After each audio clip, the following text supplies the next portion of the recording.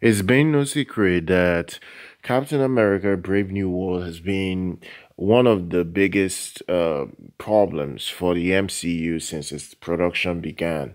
From the reshoots it's had to multiple stars complaining about this film.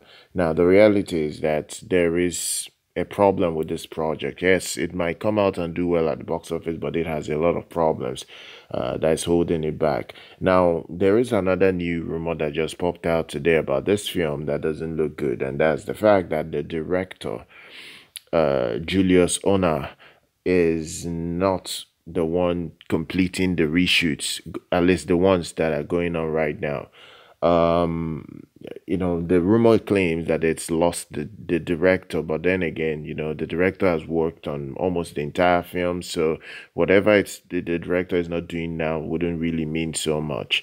Uh that's just the reality of the situation. Uh so the report states that uh captain america brave new world uh, is a complete disaster and there is still some reshoots going on but there is a, the the fact that the director is not the one handling it. Uh, Onah will not handle uh, this particular this particular reshoot. And uh, you have Anthony Mackie coming back to do some scenes. I don't even know whether they are doing an extensive reshoot or just minimal reshoots. Uh, but you have um, uh Esposito, the actor, talking about the fact that he's coming back for some reshoot. Uh, you know, Giancarlo Esposito, that's his name.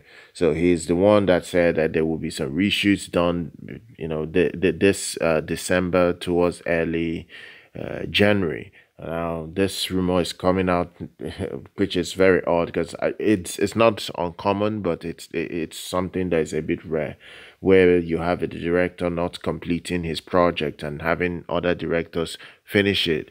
Uh, so this is happening right now. So this comes from World of Reel, which follows the recent reshoots, and uh, this site states that that they are hearing that Julius Onah has most likely been replaced as the director of Captain America Brave New World during the latest uh, reshoots.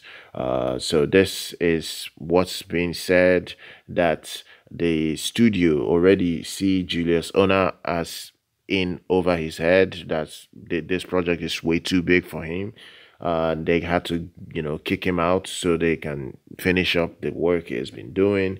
But uh, but he will at least keep his directing credits on the film uh, that's what's been said.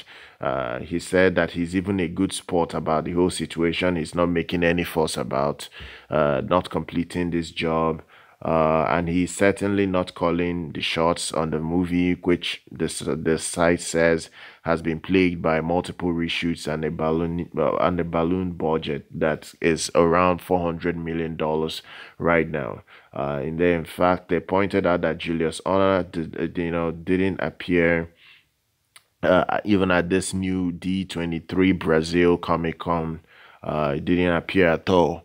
Uh, so this is something that uh, is being said. I don't know whether this is genuinely true, but it's not it's not something that is too far fetched because if you look at similar situations uh, in the past, especially in the MCU, it has happened before whereby you had Gareth Edwards being replaced. You had Taika Waititi being replaced as well when he was doing Thor Love and Thunder.